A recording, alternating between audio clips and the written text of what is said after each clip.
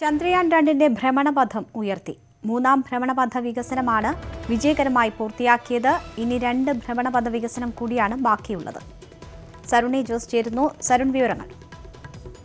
രേണുക ഇന്ത്യയുടെ രണ്ടാം ചാന്ദ്ര ദൗത്യം വിജയകരമായി ലക്ഷ്യത്തേക്ക് എടുക്കുന്ന ലക്ഷ്യത്തിലേക്ക് എടുക്കുന്നുവെന്ന വിവരങ്ങളാണ് ഇപ്പോൾ പുറത്തുവരുന്നത്. ചന്ദ്രയാൻ ചന്ദ്രയാൻ രണ്ടിന്റെ ഭ്രമണപഥം ഉയർത്തിയിരിക്കുന്നു. മൂന്നാം ഭ്രമണപഥ വികസനമാണ് ഇപ്പോൾ വിജയകരമായി പൂർത്തിയാക്കിയത്. ഇനി ഭൂമിക്ക് ചുറ്റുമുള്ള ഇപ്പോൾ ഭൂമിക്ക് ചുറ്റുമുള്ള ഭ്രമണപഥത്താണ് ചന്ദ്രയാൻ രണ്ട് പേടകം. ഇനി രണ്ട് ഭ്രമണപഥ വികസനം കൂടിയാണ് ബാക്കിയുള്ളത്. പല ഘട്ടങ്ങളിലായി ഭ്രമണപഥം ഉയർത്തി വേണം പേടകം ചന്ദ്രനിൽ എത്തിക്കാൻ. ഇപ്പോൾ പേടകമുള്ളത് ഭൂമിയിൽ നിന്ന് എഴുപത്തൊന്നായിരത്തി എഴുന്നൂറ്റി തൊണ്ണൂറ്റി കിലോമീറ്റർ അകലെയാണ് പേടകമുള്ളത്.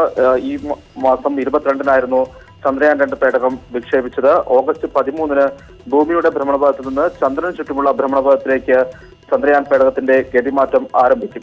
രേണുക. സരുണെ ജോസ് ആണ് വിവരങ്ങൾ നൽകിയത്. കൊച്ചി ലാത്തിചാർജിലെ എഫ്ഐആറിനെതിരെ സി പി ഐ പ്രവർത്തകർ കല്ലും കുറുവടിയുമായി വന്നു എന്നത് കളവ്. പോലീസിന്റെ ഗൂഢാലോചനയെന്നും ജില്ലാ നേതൃത്വം എല്ലിന് പൊട്ടലുണ്ടെന്ന് ആവർത്തിച്ച് എൽദോ എബ്രഹാം.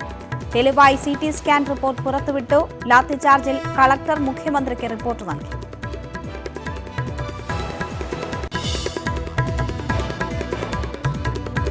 ജേക്കബ് തോമസ് കേസിൽ സർക്കാരിന് കനത്ത തിരിച്ചടി. സർവീസിൽ തിരിച്ചെടുക്കണമെന്ന് കേന്ദ്ര അഡ്മിനിസ്ട്രേറ്റീവ് ട്രിബ്യൂണൽ.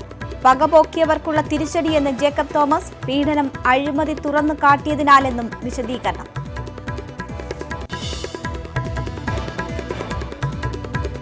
ഉന്നാവ് അപകടത്തിലെ അന്വേഷണം സി ബി ഐക്ക് പിന്നിൽ B J P M L A എന്ന് പെൺകുട്ടിയുടെ അമ്മ. കുട്ടിയുടെ നില ഗുരുതരം. സഭയിൽ ഉന്നയിച്ച് കൊടിക്കുന്നിൽ സുരേഷും എളമരം കരീമും.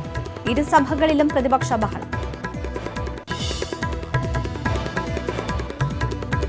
ഒടുവിൽ കർണാടകയിൽ ബി ജെ പി സർക്കാർ യെദ്യൂരപ്പയുടെ വിശ്വാസം യെദ്യൂരപ്പ വിശ്വാസം നേടി. രമേഷ് കുമാർ സ്പീക്കർ സ്ഥാനം രാജിവെച്ചു. അയോഗ്യതയ്ക്കെതിരെ വിമത എം എൽ എമാർ സുപ്രീംകോടതി.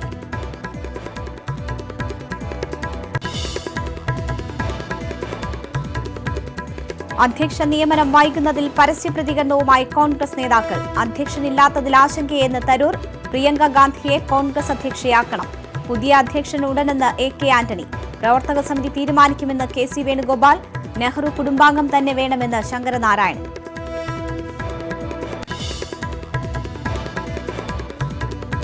ബിനോയ് കോടിയേരി നാളെ രക്തസാമ്പിൾ നൽകണമെന്ന് ബോംബെ ഹൈക്കോടതി. ഫലം രണ്ടാഴ്ചയ്ക്കകം കോടതിയിൽ നൽകണം. പരിശോധനയ്ക്ക് തയ്യാറെന്ന് ബിനോയ് യുവതി കൂടുതൽ തെളിവുകൾ നൽകി.